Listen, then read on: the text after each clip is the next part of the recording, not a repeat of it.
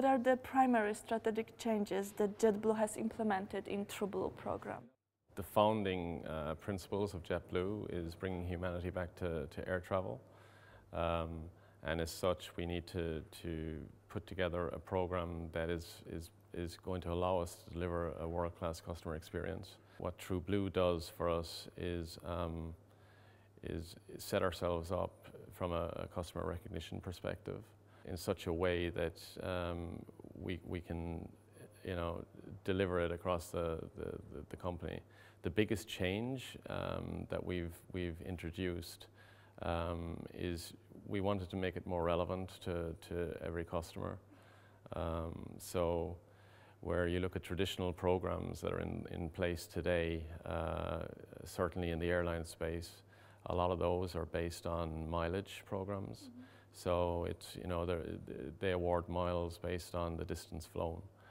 Um, JetBlue felt that, um, and this, this kind of played through in our research as well, um, that that essentially didn't become relevant anymore. Um, customers were much more cognizant of um, what they were paying for, for, for their flights. We believe that that's the, that's the, the, the right metric as well. Um, so what we wanted to do was, was award them based on their, their purchases. Um, so that's why we decided that we would introduce a revenue-based um, uh, loyalty program. Over the course of time, um, customers essentially are, are, getting a payback for every dollar they spend. Um, and I think, I think it's much more relevant. How has the new TrueBlue program and cooperation with Comarch affected JetBlue's competitive advantage in the market? I think it set us up very, very well. Um, uh, it definitely gets back to the differentiation piece. Um, the fact that we uh, have, have built um, a lot of flexibility into TrueBlue.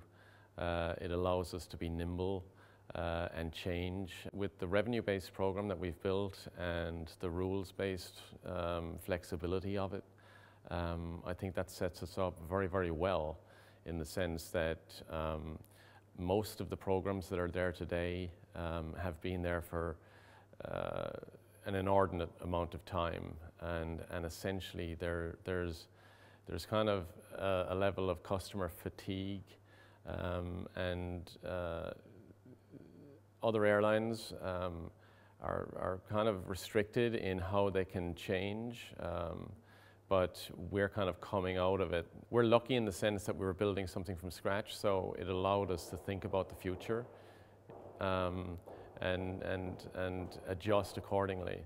So um, I, I, think that, that that's the competitive advantage that we get because um, uh, we're building something that, that continues to evolve. And I think that's very, very important. The thing about, about airlines and loyalty programs is that they continue to to change and react. Um, you know, uh, it's a very fickle business, uh, but we're approaching it not as an airline. We're approaching it as a, a, customer service company, so that allows us to, to, to continue to differentiate ourselves. So from a competitive perspective, I'm, I'm in a happy place. What differentiates Comarch solution from what's already available on the market? Uh, I think it's um, the fact that it's not an out-of-the-box solution. It's always, um, it's, it's basically written from a, a, blank canvas, as it were. Um, you know, Comarch um, are, are essentially listening to, to every single requirement and almost building it from scratch. Um, and you know, the, the fact that it's a rules-based um, platform um, even though that, that in itself doesn't differentiate Comarch, um, it's Comarch's approach and how they collaborate with customers to kind of uh, listen to your ideas and then complement your ideas with some of their own. Big thing for me is um, to realize the passion in, the, in, in, in, in uh, Comarch's uh, team when we kind of discuss things. You know, they, they get excited about the, the possibilities um, and looking beyond the horizon, um, I, I, think is, uh, it's always exciting because you're not, you're not entirely sure um, what the end result is, but um, it's, it's, it's, a, it's, a, it's a marvelous journey to, to go past and see what, what, what you can possibly realize. So um, I think Comarch's, uh, Comarch's openness to, to think outside the box um, definitely is a differentiator. I think most other organizations that I've talked to at least like to come and pitch their wares in such a way that this is it and this is how it works. Um, and you know we'll, we'll tailor what we already have to your needs. Um, but at the same time, you're buying something out of the box. I think at Comarch, you're building something from scratch, and I think that's that's that's uh, that's one of the big differentiators. I think it's exciting. What has the feedback from customers been like so far? It's been very very positive. Um, uh, one of the things that we, we did at JetBlue was um, we, we, we have an online customer panel and we, we essentially uh, go to that panel when we're looking for uh, ideas or, or looking for feedback based on some changes that we're thinking about. So we had kind of gone to them at the beginning to, to size what their reaction might be. Um, but that being said, the, the response since we've actually launched has exceeded our expectations from, in a positive way. Um, and it's been great because, um, you know, time and time and time again, uh, as you listen to customers and, and hear about um, what are the things that concern them most, a lot of it is um, the inability uh, to redeem um, or realize any value um, from, from uh, the program that they've been accumulating points in.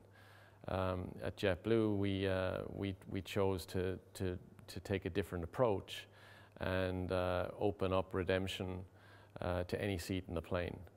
And um, uh, now customers realize that there is an actual prize at the end of this, and it's going to be a prize without any restriction. So um, it's been really, really positive in that regard. We decided to not only invest in the technology side of things, but um, when we were putting together the value proposition, we decided that we'd invest it on the, in the customer's favor. Um, and uh, that's, that's been huge.